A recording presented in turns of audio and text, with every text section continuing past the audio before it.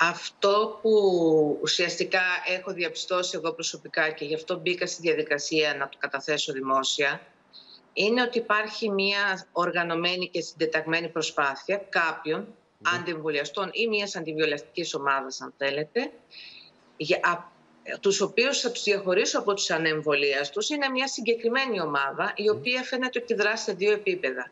Το ένα επίπεδο είναι ότι βολιδοσκοπεί όλες τις περιοχές παίρνοντας ανώνυμα ή ψευδόνυμα τηλέφωνος σε κάποιους γιατρούς, ναι. ζητώντας ψεύδες πιστοποιητικό, πλαστό πιστοποιητικό ε, όσον αφορά rapid test ή PCR ή ε, επιζητούν πλαστό πιστοποιητικό εμβολιασμού. Ναι. Αυτή είναι η μία δράση αυτής της ομάδας.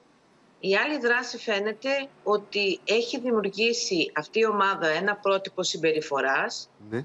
στους ανεμβολίαστους ε, καθολικής άρνησης. Δηλαδή άρνηση εμβολιασμού, άρνηση στην ε, λήψη rapid test με ρινοφαρυγγικό δείγμα γιατί θεωρούν τάχα μου ότι στην πατονέτα υπάρχει κάποιο χημικό το οποίο προκαλεί καρκίνο. Ναι. Ε, άρνηση στη διασωλήνωση, άρνηση στη μετάγγιση από εμβολιασμένο.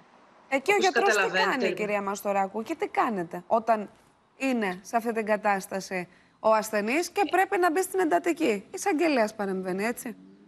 Ε, καταρχήν να πούμε ότι δεν γίνεται αυτό. Δηλαδή δεν υπάρχει διάκριση νομοδοσίες ε, σε αίματα εμβολιασμένων και ανεμβολίαστων. Αλλά, βάση περιπτώσει, η γιατρική πράξη πάντοτε ε, ουσιαστικά πλαισιώνεται από το κώδικα γιατρικής διοντολογίας, το οποίο αναγκάζει τον γιατρό να σεβαστεί την επιθυμία του ασθενούς. Δηλαδή, εάν αρνηθεί οποιαδήποτε γιατρική πράξη, θα πρέπει να ζητήσει εισαγγελική παρέμβαση εάν πιστεύει ότι κινδυνεύει η ζωή, ζωή του ασθενούς. Ναι, ναι, ναι.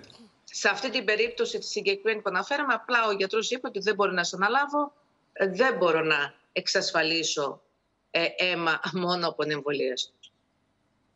Τώρα, σε τι έκταση είναι αυτό το φαινόμενο; Γιατί εδώ μιλάτε προφανώς για ομάδες που ε, ανήκουν στον υγειονομικό χώρο, έτσι. Για γιατρούς, νοσηλευτές, διοικητικούς. Ε, ε, αυτό περιγράφεται. Όχι, εγώ περιγράφω ότι υπάρχει μία πίεση ναι, πολιτών ναι. προς τους γιατρούς, προς τους, γιατρούς. προς τους υγειονομικούς. Ναι. Η καταγγελία προέρχεται από το γιατρικό χώρο. Δυστυχώς όμως ναι. δεν υπάρχουν επώνυμες καταγγελίες. Γιατί, Γιατί αυτά τα τηλεφωνήματα ε, είναι ανώνυμα ή ψευδόνυμα. Απλά οι γιατροί καταγγέλουν ε, ότι υπάρχουν σωρία τηλεφωνημάτων ναι. σε περιοχές και από γιατρό σε γιατρό ναι. Προ, προ, προφανώς αυτή η ομάδα των ανθρώπων προσπαθεί να βρει κενά στο σύστημα ναι. ε, για να μπορέσουν εν πάση περιπτώσει να εξασφαλίσουν το πολυπόθητο πλαστό πιστοποιητικό. Βρίσκει όμως.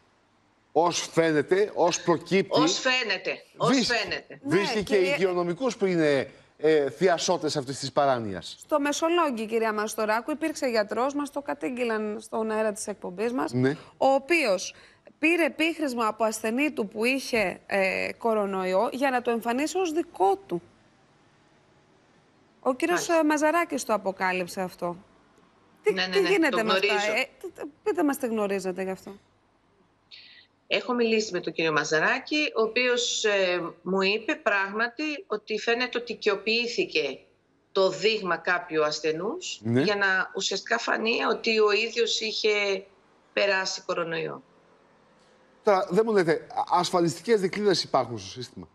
Έτσι ώστε όλα αυτά, γιατί αν, αν αυτό που περιγράφεται και καταγγέλλεται έχει πολύ μεγάλη έκταση, τότε αλλοιώνεται και η πραγματική εικόνα των πραγμάτων. Έτσι δεν είναι; Δηλαδή, ε, δεν ξέρουμε τελικά πόσοι είναι πραγματικά εμβολιασμένοι, πόσοι είναι πραγματικά αρνητικοί, πόσοι είναι πραγματικά ε, θετικοί. Και εδώ ακούμε και ακραίες καταστάσεις. Μιλάμε για, έλεγε η Αναστασία Αργυριάδου νωρίτερα, νοσηλεύτριες της εντατικής, νοσηλεύτριες σε μεθ πήραν πλαστό πιστοποιητικό εμβολιασμό και ξαναπήγαν στις μεθ. Εκεί όπου οι ασθενείς δίνουν την, την, την, την τελευταία μάχη για τη ζωή τους. Λοιπόν, καταρχήν να πω ότι το σύστημα έχει δικλείδες ασφαλείας. Το σύστημα εμβολιασμών είναι ε, πλαισιωμένο με πάρα πολλά σημεία ε, ελέγχου. Υπάρχουν πάντα, υπάρχουν δύο άτομα συνήθως στην αίθουσα εμβολιασμού. Υπάρχει σφραγίδα και υπογραφή γιατρού και νοσηλεύτριας. Υπάρχει πάντοτε ο έλεγχος στο τέλος της ημέρας πόσες δόσεις έχουν χορηγηθεί, πόσες δόσεις έχουν δηλωθεί στην πλατφόρμα. Ναι. Απλά σε αυτή την περίπτωση υπήρχαν οι κωδικοί ε, στη διάθεση της συγκεκριμένης γυναίκας, η οποία μπόρεσε και παρίσφυσε στο σύστημα.